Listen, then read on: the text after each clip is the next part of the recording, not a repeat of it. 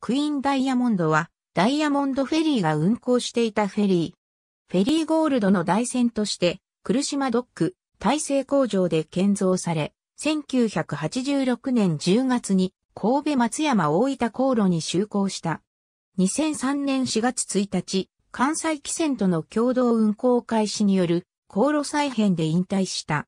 その後、海外焙煎され、韓国のシーワールドエクスプレスフェリーでニューシーワールドエクスプレスとなり、キウラチェジュ島航路に就航した。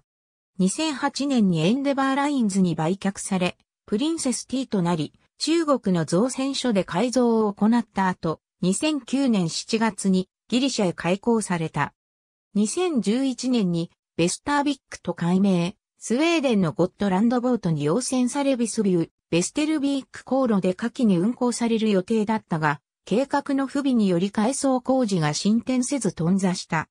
続いて、ギリシャのエウロペアンマネージメントマリタイムカンパニーが、ピレウスレシムノン航路での運航を計画したが、同様に実現せず、軽戦されている。シーワールドエクスプレスフェリーで運航されていた際は、ダイヤモンドフェリー時代の塗装がおおむね引き継がれ、特徴的なイルカマークはそのまま残されていた。エンデバーラインズへの売却後は、バウバイザーを廃止して、選手を整形するなど大幅な改造を受けている。ありがとうございます。